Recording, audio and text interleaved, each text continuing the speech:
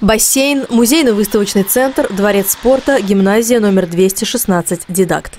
Пешеходные переходы вблизи этих учреждений проверила специальная комиссия.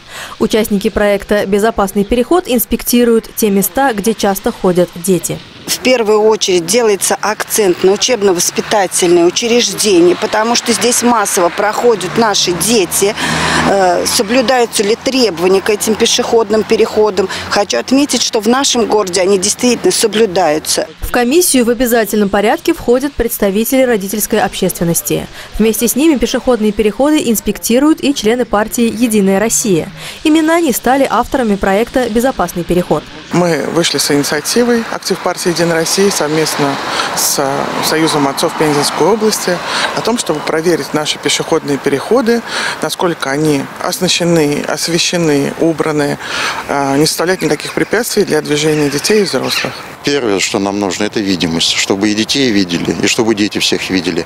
Поэтому первое внимание будем уделять это освещение, знаки, то, что должны снижать скорость, должны понимать, что дети могут неожиданно выскочить на дорогу. Наша задача максимально обезопасить в этом плане. В состав комиссии входят и чиновники администрации Заречного. С ними представители общественности обсуждают возможные проблемы и пути их решения. Проект «Безопасный переход» стартовал в этом году, но уже успел привлечь внимание горожан и найти у них отклик. Приятно отметить тот факт, что родительская общественность в это включилась и даже стали проявлять инициативу. Сами родители вокруг своих школ уже ходят, смотрят, объясняют детям, как надо ходить через пешеходный переход. Это и в группах школьных появилось. Это очень приятно, что это э, стало распространяться. Надеюсь, что это поможет нам обезопасить наших детей.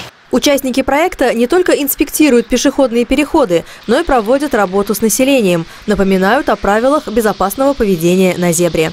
Этим занимаются активисты молодой гвардии «Единой России». Ксения Тризна, Вячеслав Юртаев, телерадиокомпания «Заречный».